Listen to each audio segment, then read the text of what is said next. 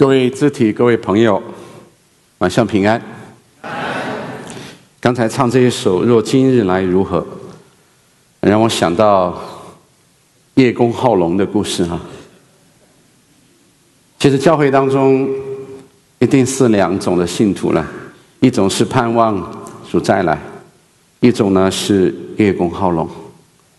当他所敬拜的、所喜悦的那个龙真的来到的时候，你知道这是一个预言，他就吓跑了。其实他心里面如果祷告的话，他一定是说：“请你千万不要来，最近我正在升职。”有的时候我们太看我们生命当中的事情哈。以赛亚书的最后呢，会把我们带到死亡和未来的新天新地。在《纽约时报》以前有一个专栏作家，他是一个很著名的呢写讣告的作家。当人死了之后呢，他会给一篇非常精彩的讣告，去描绘他的一生。你知道吗？有的时候写的太好了，你会觉得你活这一辈子呢，最后呢就想等他给你写一篇讣告。对，所以有很多在美国有很多名人。他们真的是呢，要在这个作家那里去预约自己死了之后，请他来写，千万不要让其他人写，让他来写讣告，为自己盖棺定论。所以后来这个作家呢，他出了一本书，就把他写的这些讣告放在一起，叫做题目叫做《想上天堂先要死》。我不知道你们在座有没有人特别希望死的时候能够请这样的大家。来为自己写一篇讣告，我是不想。为什么呢？因为每一个基督徒的讣告呢，在圣经里面已经写好了。你是谁？你是神的儿女。你不是凭着你自己所作所为、所思所想，你是凭着耶稣基督的宝血洗净你一切的罪，在神的面前成为一个被他所喜悦的艺人。你的结局如何？若非圣灵重生，就不能够进神的国。有一次团契呢，我带领弟兄姐妹，我跟他们一个游戏哈，我就让每一个人呢来写自己的墓志铭。我自己呢写了这样一句，我写的是：等我起来时，一切都完美了。那就是我的盼望。我知道我活着不完美，我知道我活着仍然活在劳苦愁烦当中，我知道我仍然是一个蒙恩的罪人，但是我的盼望在于到那一天的时候，一切都完美了。所以从六十四章到六十六章，先知把我们带到了最后，看了神要裂天而降，神所造的新天新地。美国诗人弗罗斯特有一首诗。里面呢一句话叫做：“我们必须相爱，否则只有死亡。”我觉得这句话呢可以表达我们对新天新地的一个盼望，因为其中呢，就像这几节的经文，包括一直到整个六十六章的结束，都包含着一个警告。当我们说神爱世人，耶稣爱你的时候，所有人都会同意，你知道吗？就连不信的人也会同意，因为这是一件好事嘛。可是它同时意味着什么呢？我们必须相爱，否则只有死亡。意味着说，如果我们没有爱，如果我们没有活在爱当中，我们终将灭亡。所以，愿今天晚上神能够借着先知在我们的当中所传讲的关于末后的盼望，能够让我们看见新天新地，能够借着啊，我这。必死之人的卑微的口，使我们今天的传讲，让我们每一个人在心中盼望那裂天而降的那永生的荣耀。阿门。我们一起低头来祷告。恩主，我们感谢赞美你。恩主，我们祈求你圣灵的帮助，能够让我们众人看见，在这个世界之上和这个世界之后。的另一个世界，那个世界已经来到，天国已经来到，还要再来。是因为主你已经来到，并且你还要再来。主啊，祈求圣灵帮助我们，使你的儿女带着盼望，使我们看见那一个天上、地上、地底下，还有过去、现在和将来神所造的整个的世界。说求你让我们怀着敬畏的心，甚至也怀着战惊恐惧的心，让我们怀着等候与盼望的心，我们来聆听你的话语。我们祈求你用你的话语将我们救活了。我们祈求你让我们来看你给我们的未来的新世界，也让我们来听你给人类最后的通牒。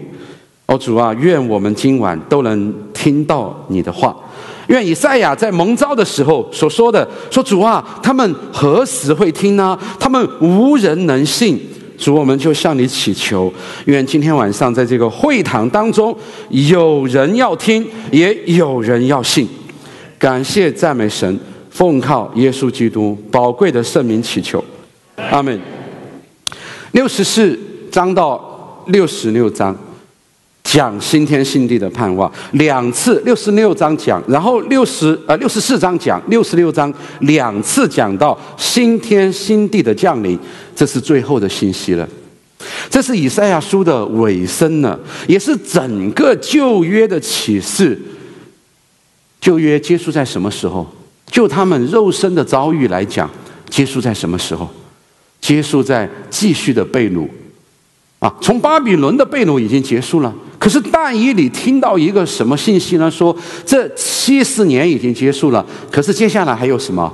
七个、七十个七呀！他们的信息结束于什么？结束于苦难，结束于希伯来书里面说那些旧旧约的圣徒，他们等候他们所盼望的还没有得到，是为了将来有一天与我们同得。整个旧约的信息是结束于他们现实生活的光景，并没有任何的改善，反倒落到更大的黑暗和苦楚当中。可是呢，整个旧约的信息并不只是结束于他们肉身的这个眼见的苦难，而是结束于那一切要到了末了的弥赛亚的盼望。甚至是新天新地的盼望，《以赛亚书》六十六卷，有人说它是小圣经，六十六卷前面一直到三十九对应着旧约，后面一直到六十六对应着新约，所以呢，六十四章到六十六章就是对应着新约最后的那个启示录的盼望，也是整个上帝所创造，但是人因自己的。败坏堕落而破坏了的那个堕落的世界将来的尾声，所以呢，你会发现在这两章当中，六十四和六十六反复的有一个短语频繁的出现，那就是耶和华说，耶和华如此说，或者这是耶和华说的。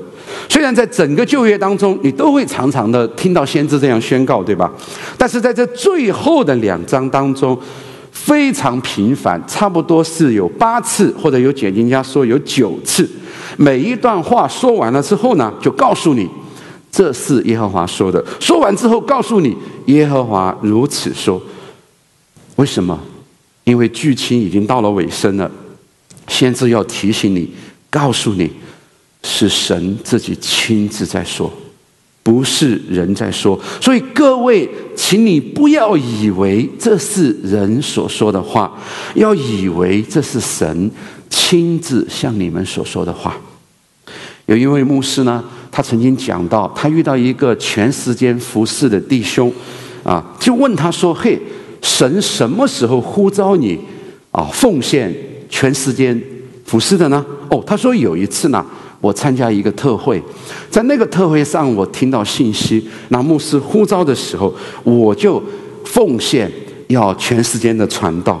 哎，这个牧师当然就好像很自然的就会问说：“哎，那一次特会是谁讲道啊？”哎，这个弟兄就说：“哎呦，我想不起来是哪个牧师了。”哎，但是那一次是神对我说话，所以我盼望你们。今天在座的也是如此。你们以后会记得神如何借着先知以赛亚对你讲话，挑战你的生命，呼召你的生命。你忘了那那是王毅牧师在讲，还是那次是洪玉健牧师讲的，还唐崇荣牧师讲的？忘了管管他是谁讲的，但是是神对我说的。阿门，阿门。所以先知的这个宣告到现在要到尽头了，这个尽头呢，应该叫做柳暗花明又一村，对吧？应该是完全的光明才对呀，因为再也没有苦难了，再也没有眼泪了。可是呢，我指出第二点呢。在这个新天新地的宣告当中，我们仍然会看到，它差不多还是有两个宣告此起彼伏的组成。一个说耶和华说恶人必不得平安，哎。四十八章那里讲到恶人必不得平安，五十七章再一次的说恶人必不得平安。现在已经到最后了，你觉得有必要吗？啊，已经到最后了，新天新地的盼望，我主要裂天而降了。如果你有圣经呢，你看到六十六章就整个以赛亚书最后结束的那节经文。是非常让你惊讶的。整个以赛亚书的最后那节经文说什么？是咒诅。他们必出去观看那些违背我之人的尸首，因为他们的虫是不死的，他们的火是不灭的，凡有血气的都必憎恶他们。各位，以赛亚书怎么能够结束在这节经文上呢？他不应该结束在天堂的荣耀和永生的盼望当中吗？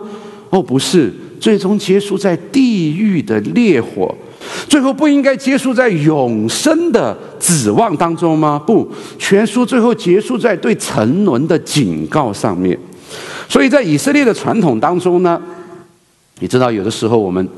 我们的心哈，我们的信心没有那么大，我们需要缓冲一下。所以以色列人在会堂当中读以赛亚书，凡是读到最后的那一章的时候，他们都形成了一个习惯，他们会把前面的第二十三节，就是整个以赛亚书的倒数第二节，多读两遍，然后再读二十四节。你试一下哈，你听一下哈，感觉是不是有点不一样？二十三节说。每逢月数安息日，凡有血气的，必来在我面前下拜。这是耶和华说的。各位，停在这里多好，停在这里多好啊！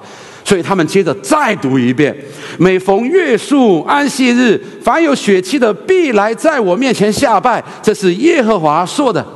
读了两遍之后，接着他们再读最后那一节。他们必出去观看那些违背我之人的尸首。整个以赛亚书的教导是说，耶和华决心要建立和平，要在一个败坏的黑暗的世界当中来恢复人的圣洁和恢复整个世界的秩序。那可是。先知从来没有漏掉一个事实，就是和平只能建立在被洁净的基础之上。所以有一个宣告，好像一个交响乐里面哈有个主旋律，但是还有另一个一个副旋律，在那里宣告说恶人必不得平安，恶人必不得平安。之后呢，就宣告拯救的信息。最后宣告拯救的信息的时候，还是不忘掉再加一句：恶人必不得平安，恶人必不得平安。这个叫交响乐。啊，因此呢，我仍然要来分享这两个视角。我们来看这一个最后的尾声，这一个最后的盼望，这个裂天而降的里面仍然带着警告。第一呢，是新和旧之间的一个关系，新天新地当中包含着与旧世界之间的一个完全的断裂。以至于圣经说，旧的世界、旧的天地呢，将要完全过去，对吧？新的天地将要来到，但是呢，新天新地也包含了与旧世界之间的一种连接和连续，历史退后。永恒出场了，但是永恒并不是与历史全然没有关系，所以呢，新天新地我们要来分享的第一点就是新和旧之间的断裂，以及新和旧之间的呢连续。那第二个视角呢，就是审判与拯救之间的关系。新天新地里面包含着永远的敬拜。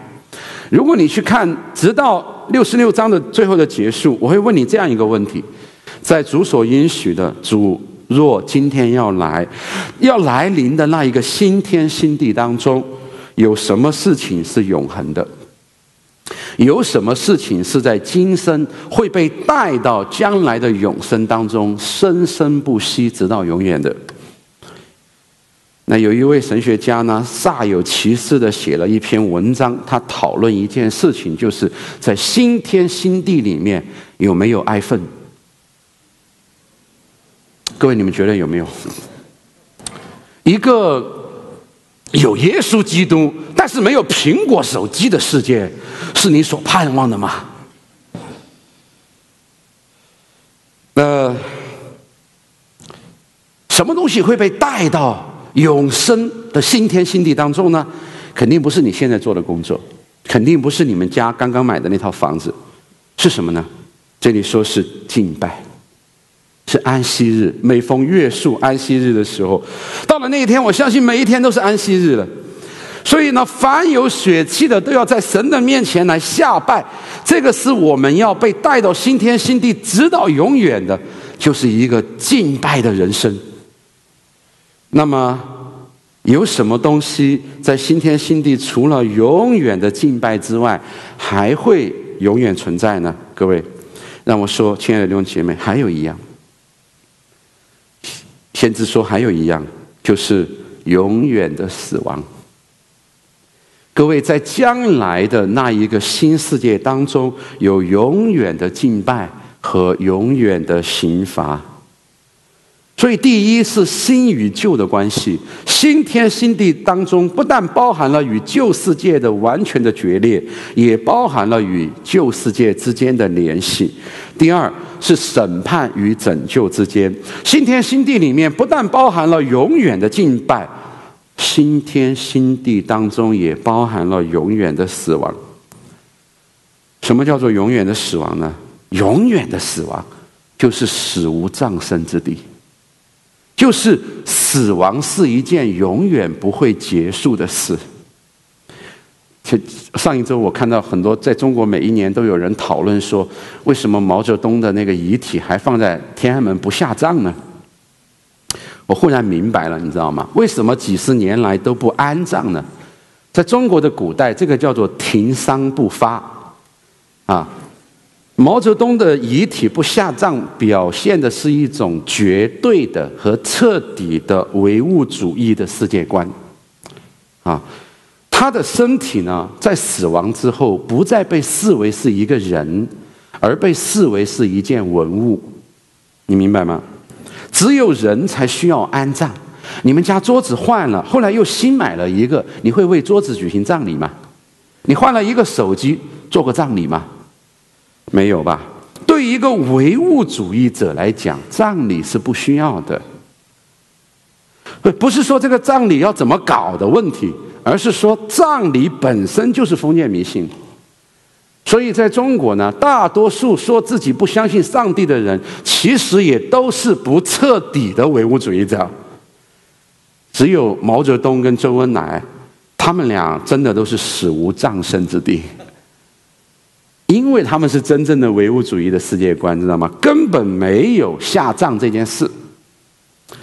那好像先知所宣告的也是说，他说在将来的那一个永恒当中，那些不幸之人的确是没有葬礼的。为什么？因为在将来的新世界，他们的死亡将一直持续下去，永远不会结束。这个叫永死。各位，在未来的新世界，有两件事永远不会结束：第一，生命；第二，死亡。一个是对上帝的敬拜，一个是对死亡的参观。他们必出去观看那些违背我之人的尸首。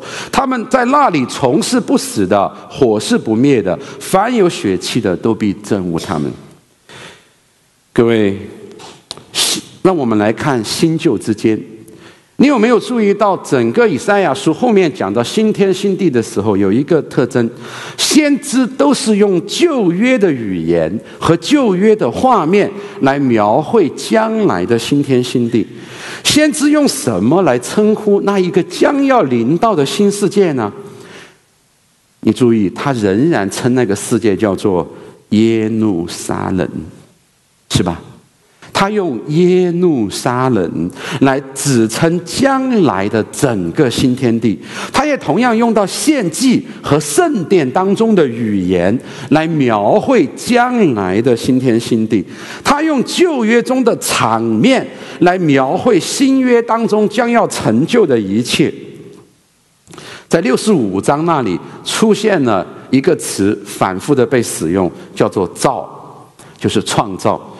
看了我造新天新地，从前的事不再被纪念，也不再追想。你们当因我所造的永远欢喜快乐，因我造耶路撒冷为人所喜爱，造其中的居民为人所乐。地是他造的，人是他造的，时间是他造的，空间也是他造的。这个地方讲到新天新地与旧世界之间的一个断裂，那个断裂是如此之大，新到一个程度，用什么来形容呢？各位，用创造来形容它新到什么程度？那就是全新哦，因为是新的创造。所以，先知在这里用旧创造的语言、旧创造的背景来描绘那一个新创造。他将那一个未来的新世界称之为一次新的创造。所以呢，六十四章到六十六章谈到新天新地的时候，非常的像创世纪的第一章。你必须将它与《创世纪》的第一章和第二章对照起来看，那一个伟大，那一个崇高，那一个庄严，那一个令人欣喜若狂。所以他宣称说：“亲爱的弟兄姐妹，那些属神的人，有一天将要进入一个全新的创造，新到一个程度，以至于可以称它是神新的创造。”然后呢，先知也用到旧约当中的那个乐园，就是伊甸，对吧？的画面来描绘将来新世界当中的那个乐园。这个乐园呢，不是迪士尼乐园，是什么画面呢？也跟创世纪第一章和第二章非常的像。第一，动物，在六十四章里面开始描绘。动物跑出来了，跟创世纪第一章一样，描绘了一个以赛亚书第十一章那里已经开始在描绘，说什么不断重复的一个画面，就是豺狼必与羊羔同食，狮子必吃草如牛一样。这一切在我的圣山都不伤人不害物，这个叫动物乌托邦，对吧？美国去年有一个动画片叫《动物乌托邦》，嗯。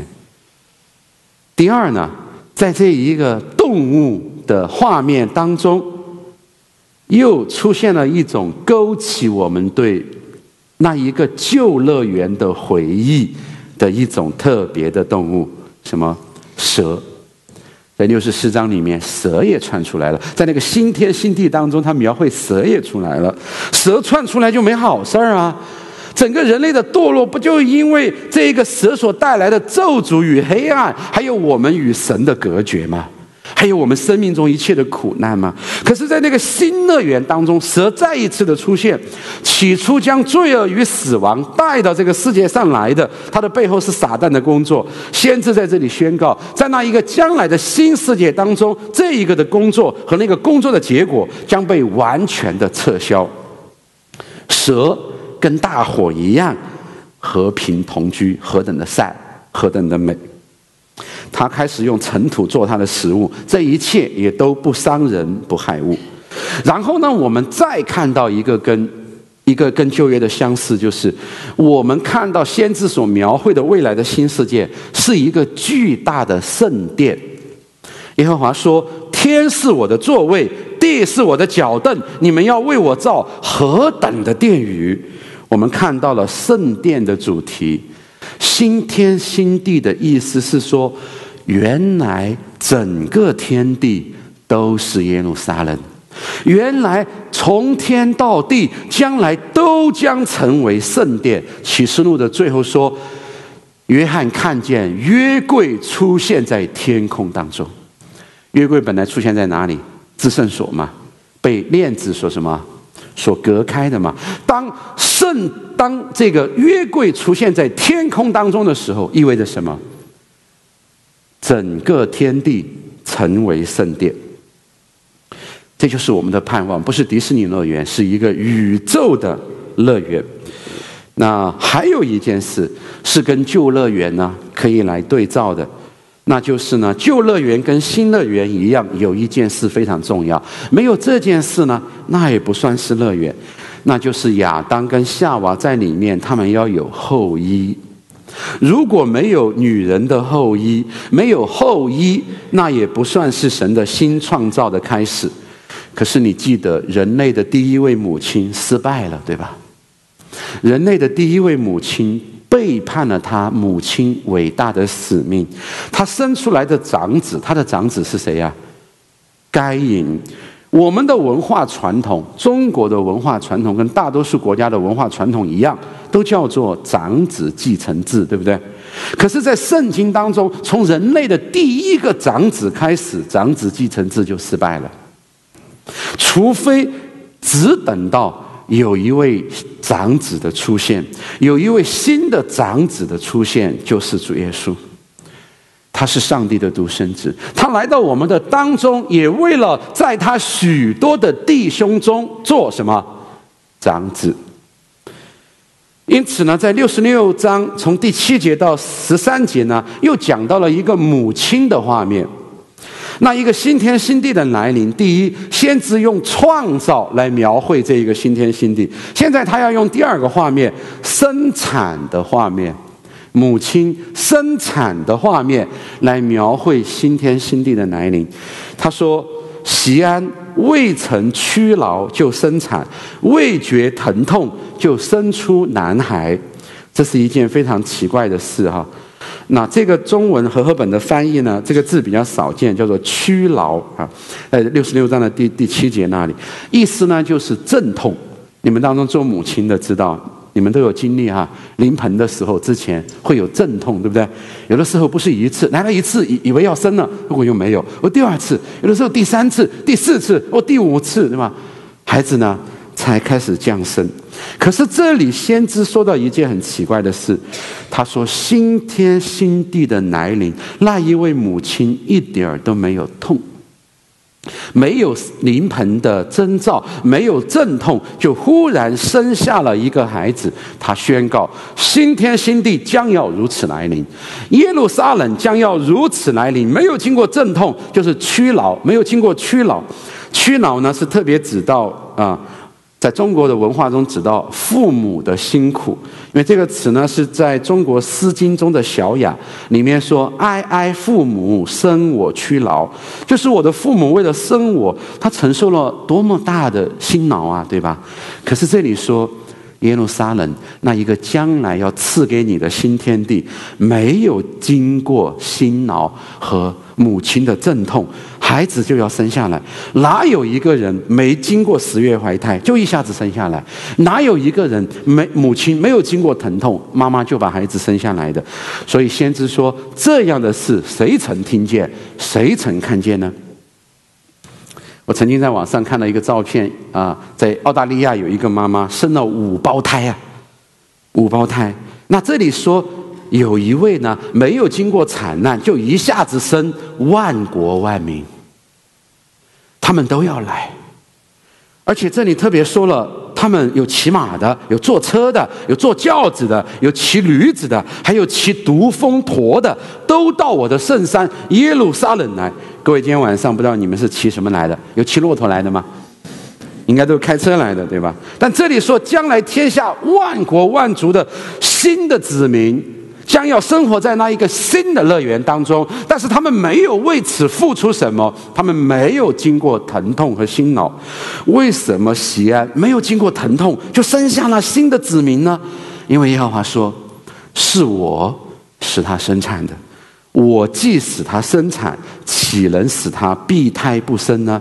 耶和华说：“是我生的。”亲爱的弟兄姐妹，教会就是主所生的儿女，教会就是今天的耶路撒冷，教会就是那将要临到的新世界，整个天地要成为圣殿的一个预表。亲爱的弟兄姐妹，教会是怎么生出来的？是哪一位母亲为教会承受了十月怀胎之苦？是哪一位为教会承受了那临盆的阵痛？在十字架上，耶稣在十字架上为你们承受了生产之苦。所以先知在这里宣告说：“西安，你一点苦都没有受，你要生下那新的子民，甚至是在天下万族当中。”各位，什么是基督徒？什么是信耶稣？各位，基督徒就是在教会当中出生的人，在教会当中。在圣灵的工作当中，重新的生了一次的人，这就是基督徒。信耶稣就是要受洗归入他的教会。你必须在教会当中受洗，你必须成为教会的一部分，否则这个未来的新世界跟你没有关系。因为，因为教会是什么？教会就是未来的那个乐园，未来的那个新世界的一个模型。在今天的一个记号，有点像什么呢？啊，我们在国内那个那个房产公司开盘之前，都有一个叫样板房，啊，你你你你你有去过这种吗？啊，你来到一个样板房，然后看到一张图，他告诉你说，嘿，等我们这个房子修起来，就是这个样子。啊，就是这个画的这个样子哈，但你看见都都都很乱的，围起来了都脏脏兮兮的。但是他说就是那个样子。那现在这一间呢叫做样板房，等我们的房子修好以后，每一间房都是现在这个样子。教会就是天国的样板房，就是将要临到的那个新世界，在这个旧世界当中，是那个新世界在这个世界上的一个导引。所以接下来我们看第二一个拯救跟审判之间的这一个关系。整个以赛亚书最终的结尾是什么？让我这样描绘，甚至是整个我们信仰，或者信仰告诉我们整个这个宇宙、这个世界最后的结局是什么？一个悲惨的结局和一个完美的开端。悲惨吗？你们要出去看那些违背我之人的尸首，悲惨吗？绝望与盼望将同时临到，这就是基督教信仰所宣告的那幕后的人类和世界的结局，如同十字架所彰显的，在我主耶稣基督的十字架上，悲惨达到了极点。如果你不认为你所生活的这个世界是一个悲惨世界，请你去看耶稣基督的十字架。但是在我主耶稣基督的十字架上，盼望也达到了一个顶点。如果你认为你活着没有盼望，如果你认为你活着生命当中只有痛苦而没有爱，请你去看耶稣基督的十字架。阿门。所以，生命跟死亡在耶稣基督的十字架上相会。先知不断的预言说，有一位弥赛亚，就是人类的救主要来。但是先知呢，又不断的预言，有一位受苦的仆人要来。所以你记得在《使徒行传》第八章的时候，有一个亚伯拉罕的太监，对吧？啊啊，这个阿拉伯的太监，他呢就在读以赛亚书五十三章呢。可是呢，他读他读不明白，他就说：“你看哈。”先知说有弥赛亚，有人类的救主要来。然后先知这里又说呢，有一位受苦的仆人。那一位受苦的仆人到底是谁呢？于是他遇到了呢，菲利。菲利就告诉他说，先知所预言的那一位大有能力的弥赛亚，和先知所讲的这一位受苦的仆人，乃是同一位。就是你们在耶路撒冷城里将他被杀，第三天复活的耶稣基督。那这就是以赛亚书最后新天新地的宣告。看了，我造新天新地，六十五章的十七节。看了，我造新天新地，从前的事不再被纪念，也不再追想。亲爱的弟兄姐妹，这就是我们的盼望。神说，到了那一天，他会忘记所有的罪孽。有的时候我们也会这样啊。张弟兄去找李李弟兄说：“对不起啊，曾经有哪一件事我得罪了你，我向你道歉，希望你能够原谅。”你知道有的时候我们会怎么说吗？我们有的时候都宽宏大量，我们说：“哎呀，我早就忘了。哦，这这事儿啊，这事儿你不你不提，我还不我都忘了，对吧？我根本就没放在心上。”你知道吗？通常人们这么说的时候，他一直都放在心上。但是神在这里，他的确说，到了那一天，他要忘记，不再纪念从前的事。亲爱的弟兄姐妹，我们当中听福音的朋友，你在今生一切的罪孽过犯，主说他不再纪念。你已经犯下的，甚至你将来还要犯下的，这不是指到说在记忆的层面上说上帝会失忆吗？不是，这一切不放在他的心上，不停留在他的心思意念当中，因为这一切被他儿子耶稣基督的宝血所遮盖了，被那新世界的临到，那巨大的狂喜，那巨大的平安，那巨大的幸福所遮盖了。所以先知在这里预言说：“这样的平安，我要给你们；这样的平安如江河，要流到你们的心中去。”不过呢，还有一件很奇怪的事，先知在这里说呢：“说在那个新天新地当中，哈，若有人活到一百岁就死了，这个算夭折。”哎，你说，哎，这个是我盼望的，这个是我一直在想的，啊，不在。因刀剑而死亡，不再因疾病而死亡，不再因破产失恋啊，不再因国家灭亡、政权更迭啊而死亡，这样的事通通不再有了。百岁而死的也算孩童，因为他将复活，要得着永远的生命。而罪人呢，那不信耶稣的人呢，即使活到一百岁，也算是咒诅。所以各位，新天新地的盼望意味着什么？各位，意味着我们的盼望。不是我们肉身的长寿，这个地上的长寿是在那新天新地的盼望之外的长寿，不过是时间长一点的缓刑期。判处死刑，缓期七十年执行；若有强壮的，缓期八十年，对吗？所以你说，哎，这个张张三呢是缓刑八十年，呃，王五呢活得比较久，缓刑了九十五年。我希望缓刑到一百岁，可是最后还是要执行死刑。所以先知说，活到一百岁仍是夭折。各位信耶稣的人，看地上的日子，我们当然是每一天仍然过神所赐给我们的每一天的日子哈，但是地上的日子或长或短，真的不重要了。重要的是什么？重要的是我们过的是罪人的生活，还是圣徒的生活？我们是为永生而活，还是为今生而活？让我这样说：福音的盼望，特别是这一个新天新地的盼望，是对长命百岁的人生梦想的讽刺。在那真正的人生的盼望面前，这根本算不上什么盼望。长命百岁不过是亚当起初所受的咒诅的延续，而且你知道，当亚当的子孙刚刚承受这个咒诅的时候，你知道他们当中有人活到多少岁吗？有有人曾经活到九百岁，对吧？你知道天使怎么议论吗？天使说：“哎呦，这么年轻就死了。”各位，今天在中国社会，最重要的问题你知道是什么吗？有。太多的人为今生而活，为眼睛看得见的一切而活，因为他看不见眼睛看不见的。当然，在今天中国社会也有宗教的复兴。有一个宗教学者呢，他观察说，今天的中国有两个主要的宗教的特征，一个是佛教，一个一个是啊基督教。他们得出一个结论，你知道他说什么吗？他说，在今天中国社会叫。穷信教，富烧香。富人凡是有钱了，就到庙子里烧香，目的是什么？保住我已经拥有的一切。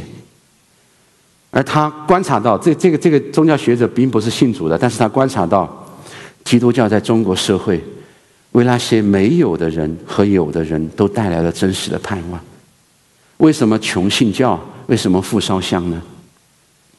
因为基督教把一个眼睛看不见的世界带到了今天的中国社会。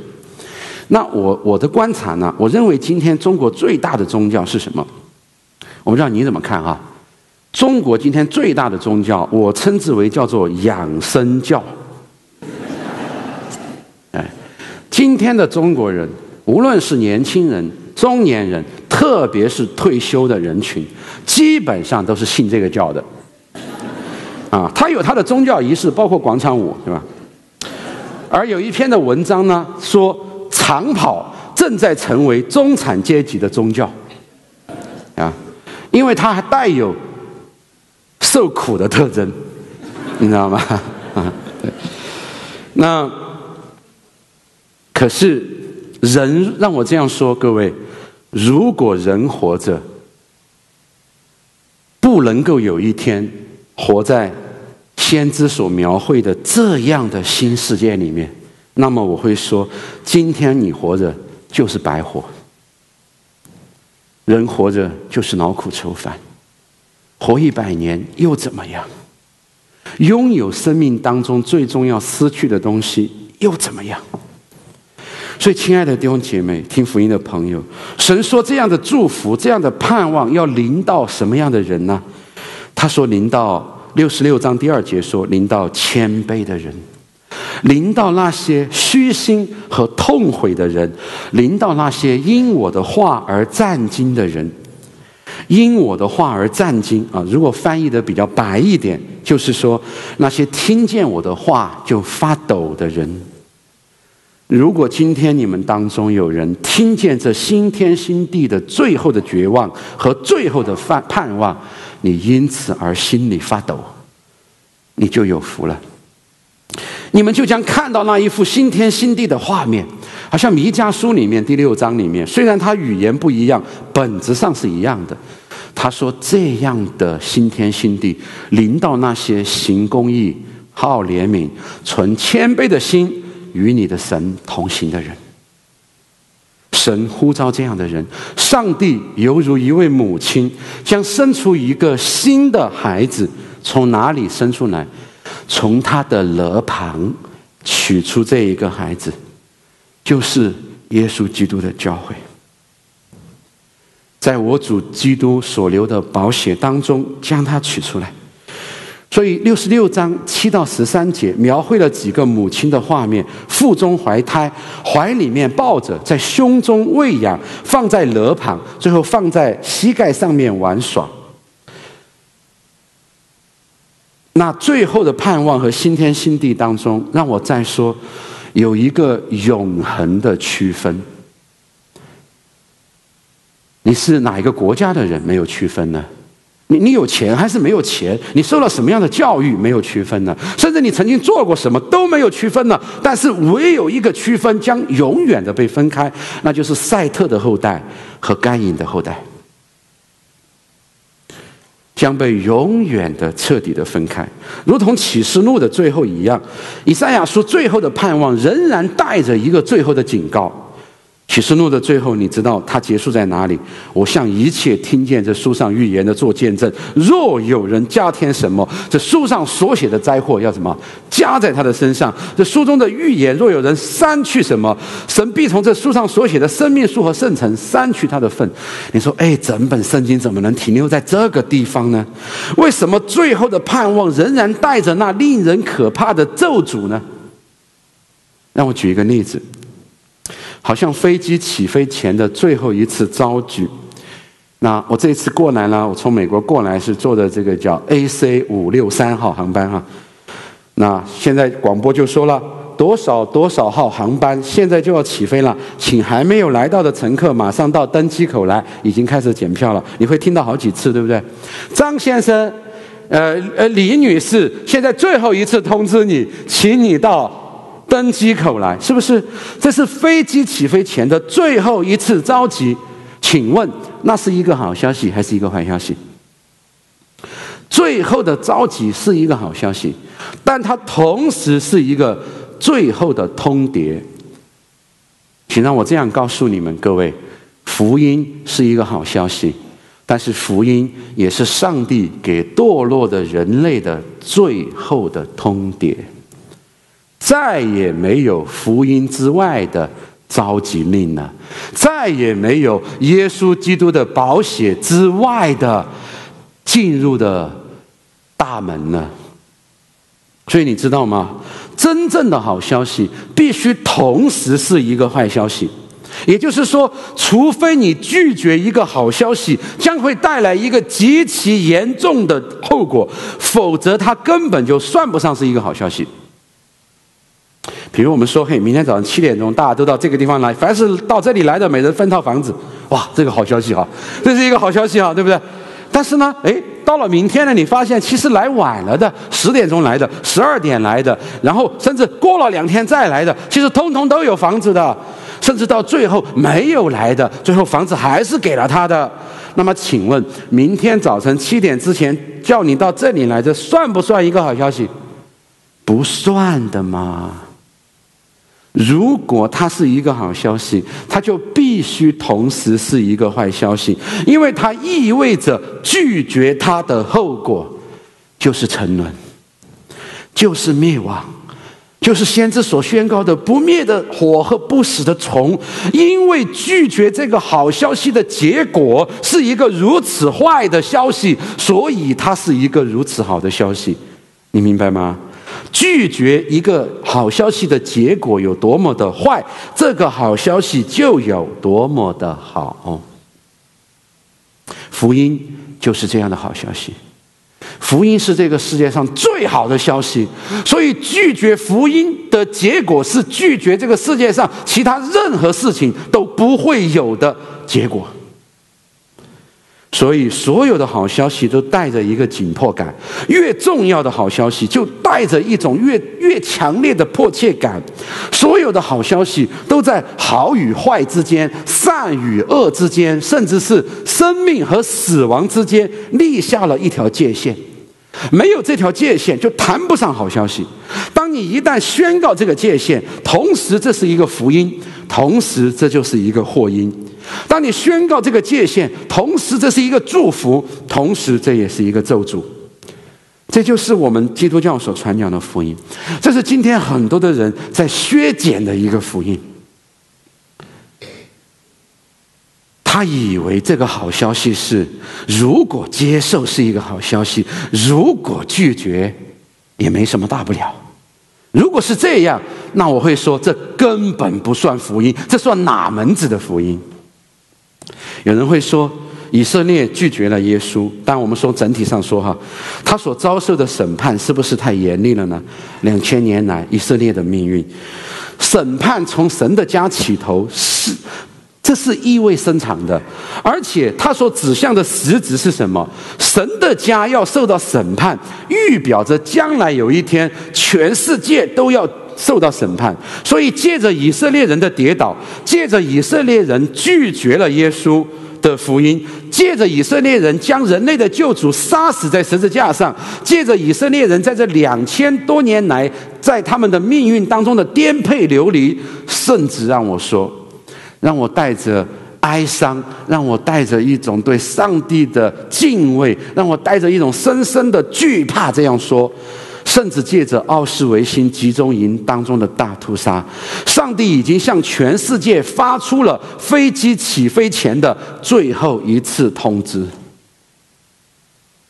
不是因为以色列人如此的坏，而是因为像耶稣基督所说的，有一天所有拒绝他的人，人人都要如此。哪一国拒绝他，哪一族拒绝他，哪一家人拒绝他，最后都要如此。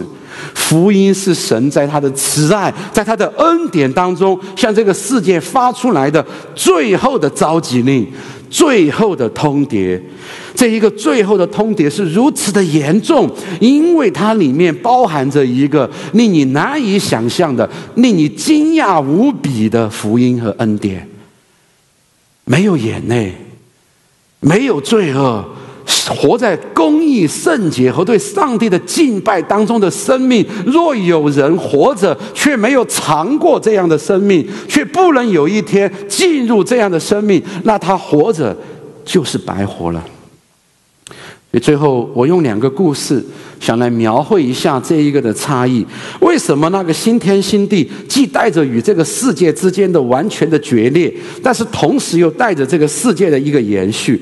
为什么那将来盼望的拯救的好消息，同时仍然带着一个咒诅的警告和威胁？啊，两个故事啊。第一，在网上我看到有一个。一个一个主类的一个公众号，他发了一个视频。现在很多人呢都喜欢用一种比较夸张的语气啊，叫做“史上最感人的一个视频”啊。那为什么感人呢？啊，真的很感人呢。那里面说有一个五岁的小男孩，他的妈妈去世了，爸爸呢到在医院里面，他一个人在家，爸爸打电话跟他说，妈妈已经去到了天上。那他一个人呢，他就在家里呢打九幺幺，扔在美国的电话哈，就说我要找我妈妈。那如果你是那个警察，你会怎么讲？哇，这个警察很温暖的，他就问说：“你妈妈在哪里啊？”哦，我爸爸在医院，我爸爸跟我说，我妈妈已经去了天上，我要想跟他说话。哇，那个警察就对他说：“哦，你可以这样，我教你两个办法。第一呢，你去照一照镜子。”你对着这个镜子看，你发现你的眼睛有没有一点像妈妈？而嘴巴有没有一点像爸爸？你发现吗？你的爸爸妈妈就在你的里面。你对着镜子讲话，你妈妈会听见的。哇，很很很温馨吧？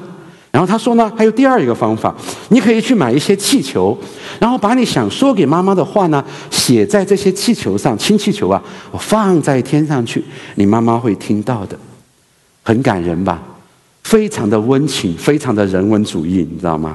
过了一段时间，那个小男孩又打电话来了，说：“妈妈没有理我。”啊，这个警察又说：“没关系了，你妈妈可能出差了，你继续写，坚持写，妈妈会看见的。”然后警察呢就跟其他的同事分享这一个五岁小男孩给警察打打电话的故事。有一天呢，这些警察就一路开着很多的警车，然后所有的车上呢都带着气球，就一起去到这个小男孩的家门口，然后找他说：“你妈妈叫我们来找你，你妈妈很喜欢你写给她的信，你继续给你妈妈写信，你妈妈给你买了这么多的气球。”啊，就一直不断的鼓励他。后来这个警察呢，啊，这个故事里面后来说，他常常的会去买一些小礼物，啊，继续的关心这个孩子。那请问，这是不是一个很温暖、很有盼望的故事？我会这样讲：如果没有耶稣的话，如果以赛亚所讲的未来的新天地是假的话，这就是人间最感人的故事。但是，如果新天新地是真实的话，这是一个虚假的盼望。没有耶稣基督的天堂，根本就不算是天堂，而是地狱。不让这个小男孩知道死亡到底意味着什么，是真正的安慰和盼望吗？不透过耶稣基督，不使我们面对死亡，然后使我们转向那一位在十字架上死而复活的耶稣基督。没有耶稣基督的安慰，是真正的安慰吗？不是的。没有耶稣基督的天堂，是真正的天堂吗？不是的。我不知道这个公众号干嘛要发这个视频，我根本看不到它跟基督教的福音有任何的关系。除了它里面提到天堂之外，它跟耶稣基督没有任何的关系，它跟基督徒的信仰和盼望没有任何的关系，它只不过是一个人文主义的虚假的梦想。让我讲另一个故事，与它相反，那才是真正的在耶稣基督里面对死亡的真正的盼望。就是 C.S. 路易斯，英国的基督徒作家，他写的《纳尼亚传奇》最后的结局，在那个里面，你知道，真正的童话都是基督教的童话，真正的童话都是对福音书的模仿，当阿斯兰在那个世界里面，那个狮子阿斯兰，对吧？代表着基督，和他们聚集在一起的时候，阿斯兰说：“阿斯兰论到另外的一些人说，说在那个世界当中，但那个世界当中不是人，都是各种动物哈。说他们不选择信仰，他们宁可凭着狡猾，在他们的监狱当中生活。他们迄今为止仍然待在他们心中自己所造的监狱当中。但是孩子们，来吧。”时候已经到了，我还有别的事要做。阿斯兰就向门口走去，让大家跟着他。阿斯兰大声地说：“现在是时候了，时候已经到了。”然后呢，天上的群星都震动，门就打开了。他们就站在阿斯兰的旁边，出了那个门口，看见大地之上一片黑暗。可是还有很多的人被关在那扇门的外面。他们就看见天上的流星开始下坠，几百颗、几千颗、几万颗，天上所有的星座都坠落了下来。他们看见一个巨人，一个巨大的黑影。人们告诉告诉他说，这个黑影呢叫做时间老人，他一直睡着，直到世界末日的那一天，他要醒来。阿斯兰说：“是的，他躺着睡觉的时候，他的名字叫做时间。”现在他醒了，我要给他一个新的名字。这一个巨人就醒了，他就拿着一个号角在嘴边开始吹，越来越高亢。整个世界像一场流星雨，整个世界随着星星的坠落变得越来越黑暗。他们都感到有一点毛骨悚然。所有的动物，所有在阿斯兰里面的受造物，他们都聚集起来，全部都窜出来，从黑影当中争先恐后的跑出来啊！各种各样的会说人话的那些兽类，对吧？小矮人呐，什么半人半羊的啊，还有巨人呐，他们都出来，朝着阿斯兰所站立的这扇门拥过来。那他们说呢，这个过程呢？就好像一个梦一样，有的时候觉得很快，那个过程大概一共应该只有几分钟，但有的时候又觉得呢，好像已经过了很多很多年。可是始终有许多的动物和兽，他们无法穿越那个门。每个人来到阿斯兰的面前的时候，每个人呢都有一件事，都要面对两个的结局，不是这个就是那个。什么事呢？他们所有的人的眼睛。都要看着阿斯兰的脸，那他们必须如此，没有选择的余地。而有一些呢，当他们看见阿斯兰的脸的时候，他们的脸色可怕的变了，出于恐惧，也可能出于憎恨。忽然，他们就变成了不会说人话的野兽，他们站在了阿斯兰的左边。而另外还有一些，他们看见阿斯兰的脸的时候，他们越看越欢喜，他们的脸上就充满了自由，充满了爱，充满了盼望。他们渴望看见阿斯兰的脸，他们希望就这样一直看下去。于是他们就站在了阿斯兰的右边。最后那些阿斯呃纳尼亚世界当中的怪物们，他们老了。死了，躺下了，他们的肉枯蒿了，他们的骨头露出来，不久就只剩下巨大的骷髅，东一个西一个，躺在那些毫无生气的石头上面，看上去这个世界忽然就像已经死了几千年一样，忽然这个世界就像从来没有过生命在其中生活过一样，万籁俱静，忽然有一种光明。白色的光在他们的当中显出来，阿斯兰领着他们，那一个巨人伸出他的膀臂，好像有几英里长，看上去很黑暗。太阳出来了，那一个巨人碰到那个太阳，他手拿着那个太阳，在手中捏碎了它，就像捏一个橘子一样。天地之间顷刻就陷入巨大的黑暗。然后阿斯兰回头对彼得那四个小了小小孩子当中的那个那个那个哥哥彼得说。啊，当然这个不是圣经当中的彼得，但是在纳尼亚世界当中，他代表什么呢？十二使徒的哈，说彼得关上门吧。彼得浑身发抖，在黑暗当中摸出一把金钥匙，把门锁上了。各位，让我对你这样讲，这是耶稣基督的教会在这个地上要做的最后一件事。今天教会在地上传福音，他有一天要做的最后一件事，就是拿出那一把神所赐给教会的天国的钥匙，恐惧战惊的把门关上。阿斯兰说：“来吧，朝着更深更高的地方去奔跑。”可是大家怎么跟得上他的步伐呢？大家就跟着阿斯兰一起跑，在那个跑的过程当中，彼得就跟在后面，不断的说：“完了，完了，完了！”他以为一切都完了，黑暗笼罩了整个阿斯兰。露西呢？露西另一个小女孩，露西开始哭了。露西已经哭得不得了。露西说：“可是，在门外还有那么多死亡的，还有那么多不能够进入这个门的。”可是阿斯兰说：“Lucy，走吧，让我们向着更深更高的地方去。”在这个奔跑的过程当中呢，他们觉得特别奇妙的一件事，就是他们一边跑一边说：“哎，这是哪里呢？哎，在我们那个旧世界里面，从来没有这么美的地方。但是呢，他们当中又有人说：‘哎，不对不对，你看哈。’”这个很像我们原来的纳尼亚，他们就开始争吵说：“你觉得有没有点像啊？那座山跟我们原来那座山，哎呀，真的看起来有点像。不不不，又完全不像。”他们就一边的跑，他们就看到了一个比原来的纳尼亚更美的世界，很像原来的纳尼亚，似乎能够看到一点原来纳尼亚的影子，但又完全不是原来的纳尼亚。总之呢，就没有办法形容。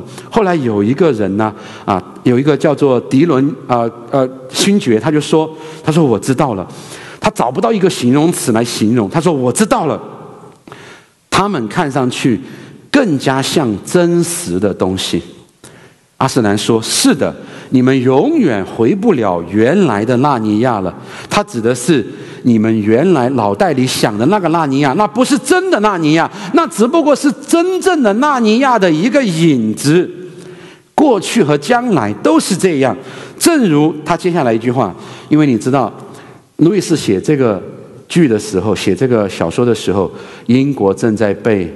纳粹轰炸，英国正陷入到一个西方世界不知道还有没有明天的一个巨大的灾难当中。所以他接着说：“正如英国和这个世界上所有的国家一样，只不过是在阿斯兰的世界当中的那更真实的东西的一个影子。”露西，你不要为老的纳尼亚而哀悼，因为那个老的纳尼亚世界当中一切重要的东西。都经过那扇门，进入了真正的纳尼亚，而那些不重要的都已经留在后面了。这就像你醒来之后的生活，跟你在梦中的生活是不一样的。后来呢？小说里面这么说，我无法给你解释这一个阳光普照的新的纳尼亚和那个老的纳尼亚有什么不同。我没办法给你说清楚，在这个新的纳尼亚里面的苹果吃起来跟那个老纳尼亚里面的苹果味道到底有什么不同。除非有一天你自己亲自的来这里，否则我没办法给你讲清楚。后来呢？独角兽就说。我把大家的感受综合起来，他说：“我终于明白了，这是我真正的国土。我终于明白了，这就是我的家，我属于这里，这是我一生所寻求的国度。直到现在，我忽然意识到一件事。他说：我们为什么从前爱那一个老的纳尼亚呢？”我发现了原因，因为原来那个老的纳尼亚虽然是败坏的，虽然里面有女巫，虽然里面有黑暗，但是我们之所以爱原来的那个老纳尼亚，是因为那个老纳尼亚有的时候看上去有那么一点点像现在的新的纳尼亚。所以，亲爱的弟兄姐妹。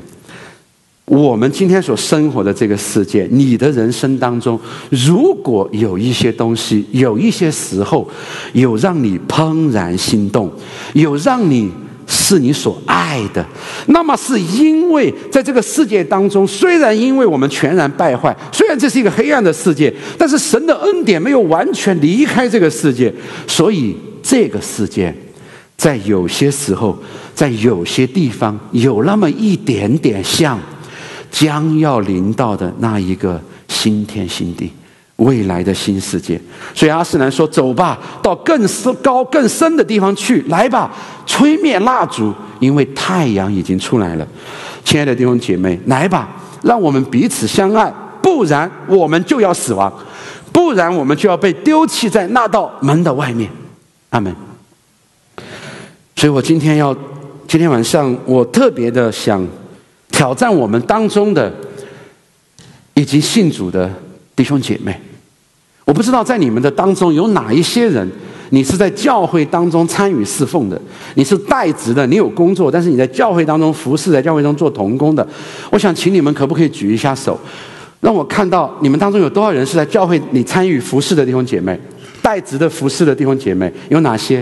可不可以举一下手？楼上的、楼下的，感谢主，感谢主。今天呢，每一个信徒，好，请放下，都可以在自己的职业当中去侍奉上帝，是对的。人人皆祭司，是对的。你必须在你的职业当中，在你的公司当中去做祭司。所以，所以我我在教会里面对我的弟兄姐妹讲说：，你们每个基督徒都是你们公司的党委书记，哪一个党的？拿撒勒一党的嘛，对不对？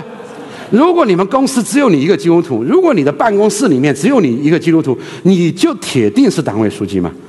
拿上了一党的党委书记是你们公司的祭司，但是呢，神也特别的要呼召一些人出来，单单的为着永生的国度。而活在他的弟兄当中，他们成为全世界的工人。他们在弟兄当中没有产业，他们吃福音的饭，他们做福音的工，全世界的来为这个福音工作，就是为那一个将要临到的新世界的工作。他们的生活方式表达那一个新世界是存在的，他们的生活方式是成为这一个旧世界和那一个新世界之间的那一个使者，成为信徒当中的立位人。就是全时间的工人。我听说在大温的地区有两百多万人，然后有华人四十多万，对吧？你们有一百来间教会，如果平均一个教会有两三百人的话，那么加起来就是就是多少两三万的基督徒，不到百分之十吧。如果在大温地区有百分之十的基督徒，我们可能需要再有一百间教会。今天中国的基督徒大概七千万，到人口的百分之五六吧。如果中国的基督徒达到百分之十，我们需要成千上万的传道人。是的，让我不夸张的说，成千上万。我在北美呢，接触到一些当地的华人神学院，我问过几个院长，说那些从大陆出来在你们当中读神学院的神学生，有多少人？回到大陆去侍奉的这些院长都很尴尬的说：“是的，非常非常的少。”所以我要在你们的当中来挑战，奉主的名来呼召你们当中那些在教会当中代职侍奉的信徒。我要呼召那些因着永生的盼望，因为看见了那一个新天新地而心里快乐胜过五谷新酒和油的人。蒙神的呼召，因着那一个未来的新世界，来渴慕侍奉主的教会，渴慕传扬神的福音，愿意装备自己，预备自己，成为传道人，成为宣教士，成为全职的工人，愿意为了福音的缘故，有一天回到中国去，或者呢，去到他乡。做福音的工作，即使是留在这块大陆上，也是为福音的缘故而留下来，不是为你的儿子的缘故而留下来，是为了别人的儿子的缘故而留下来。全职的传道，有一位宣教士曾经，他他讲到鼓励大家去全职传道的时候，他只剩一分钟了，然后人家问他说：“什么样的基督徒？”适合去做宣教士呢？什么样的基督徒应当被神呼召去做全职的传道人呢？他没有时间了，他就只讲了一句话。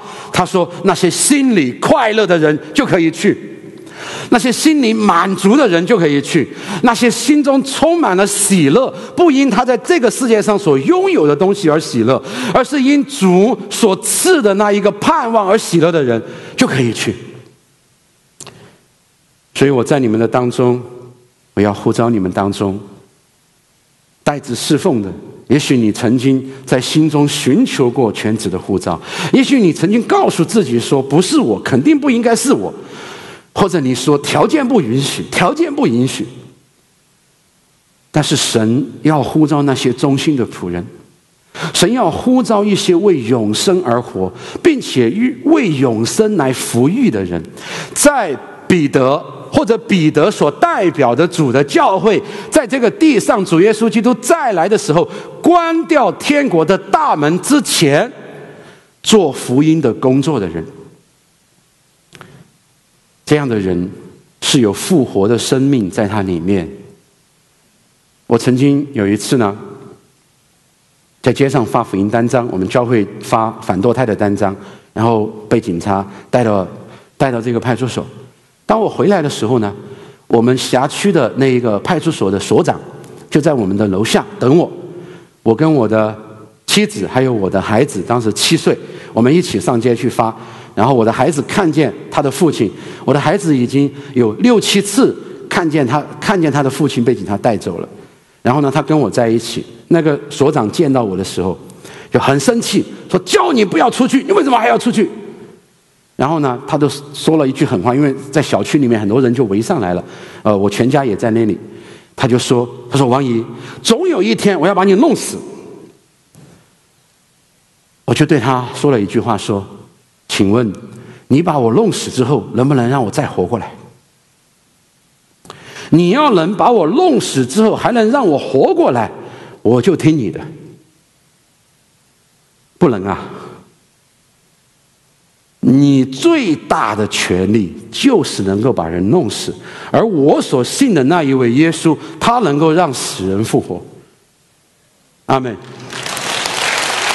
所以我说，你的权力太小了，你的本事太小了，不足以统治我。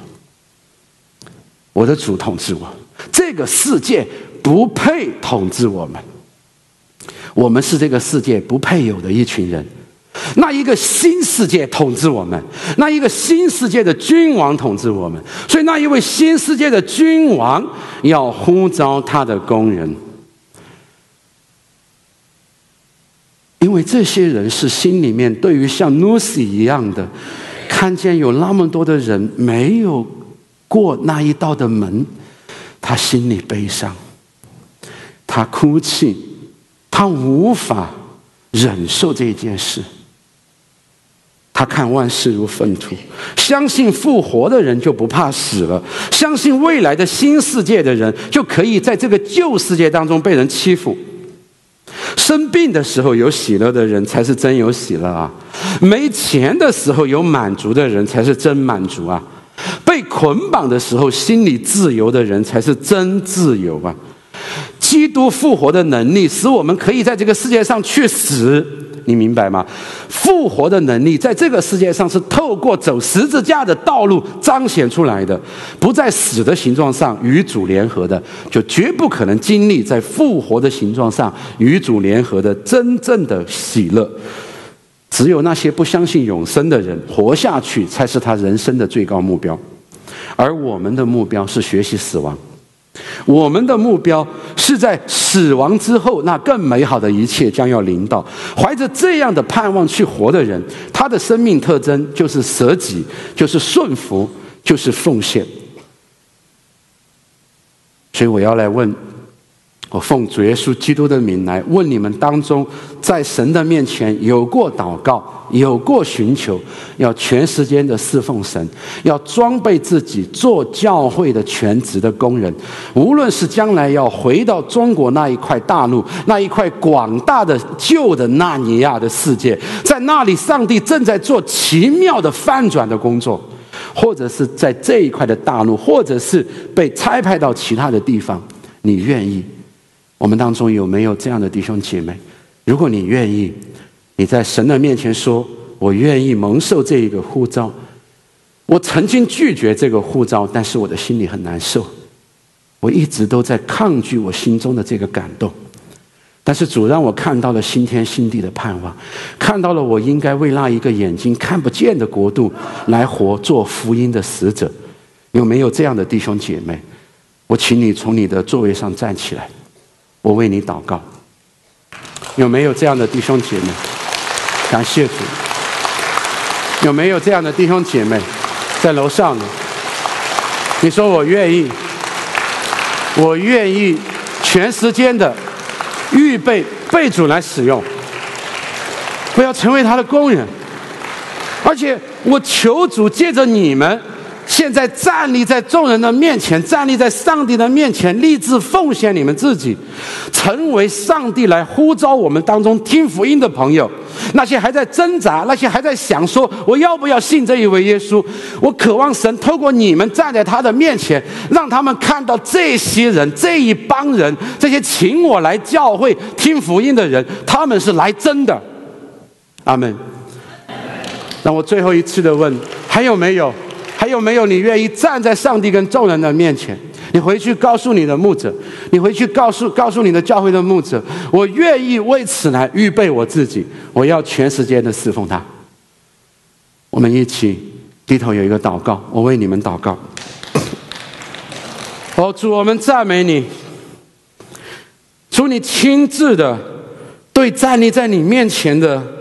这些弟兄姐妹讲话，因为如同以赛亚一样，他看他们看见了你的荣耀，他们看见了耶和华的荣光满了这殿，他们愿意蒙受这个呼召，因为他们是嘴唇不洁的人，又住在嘴唇不洁的民中。可是你用你儿子耶稣基督的宝血洁净了他们，你要呼召他们去传扬这一个福音，为福音来活，为福音来死。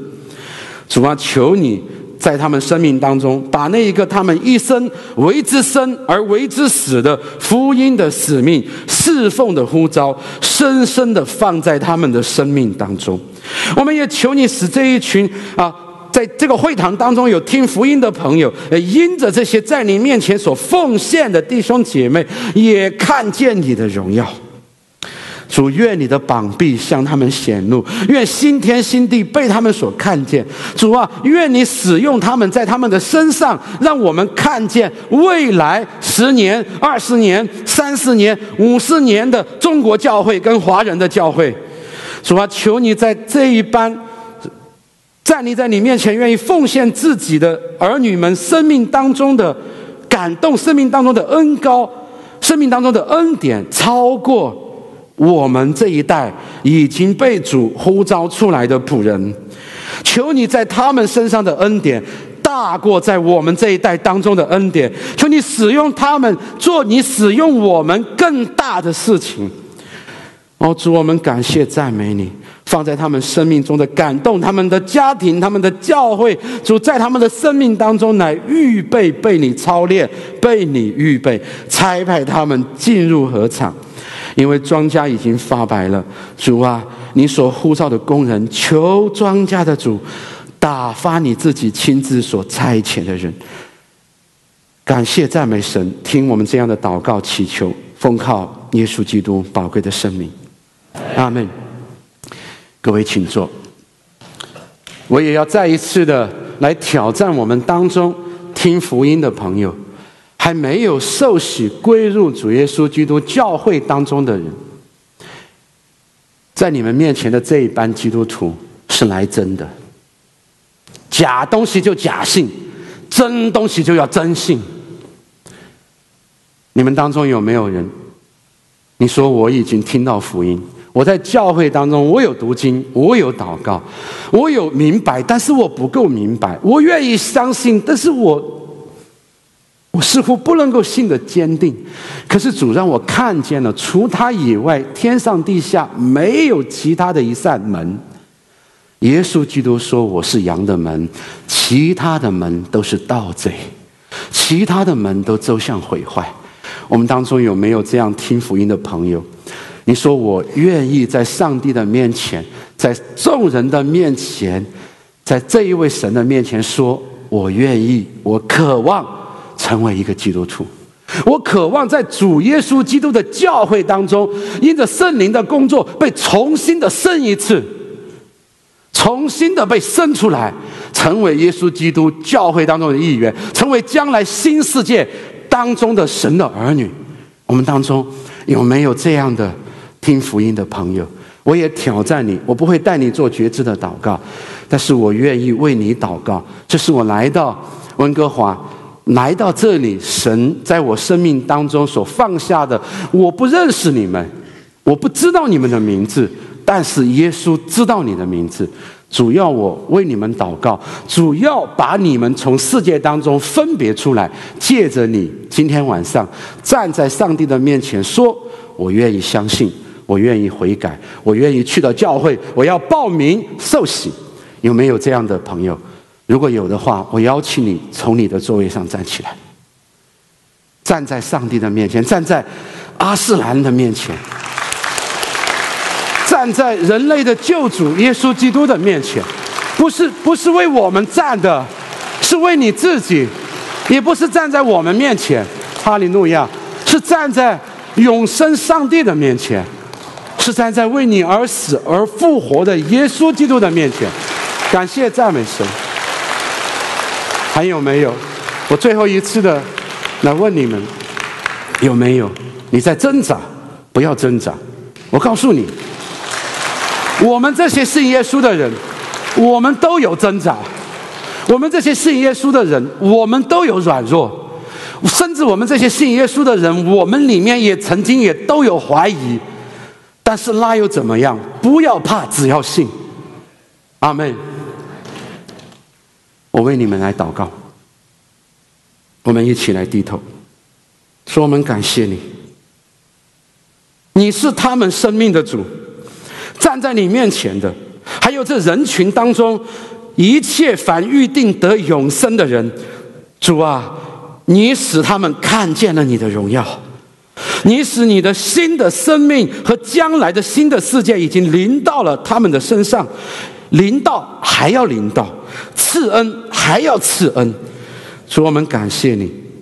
求你使他们脱离这个世界所给他们的虚假的福音，那些人文主义的虚假的盼望和虚假的理想，那些用谎言来包裹的虚假的自我安慰，让他们直面他们死亡的结局，让他们直面他们内心的黑暗，让他们透过这一切仰望十字架上为他们的救恩创始成终的主耶稣基督。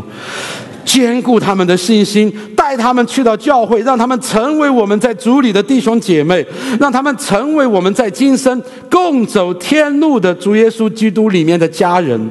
让我们真的是在里面，在你面前为他们祷告，也在你的面前说：“我主，你爱他们，我们真的也爱他们。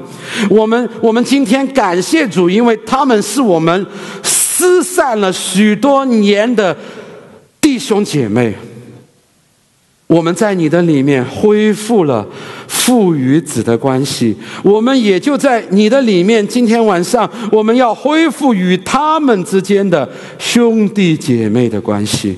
感谢赞美神，愿你在他们的生命当中得着荣耀。愿那一个真正的天地，那将来的新的宇宙和世界，主啊，与他们有份，正如与我们有份一样。感谢赞美神，奉靠耶稣基督的圣名祷告，阿门。